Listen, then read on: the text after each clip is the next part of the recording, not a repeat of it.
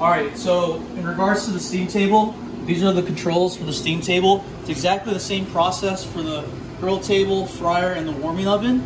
But this black button right here, along with this silver dot right here, it tells you where exactly you're at in terms of the pilot position. So if we're gonna move this over to here,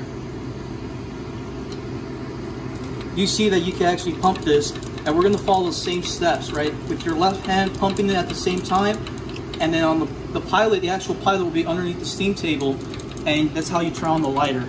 This green button right here kind of uh, indicates the level of the flame once we fully turn on the actual, uh, the full burners of the steam table.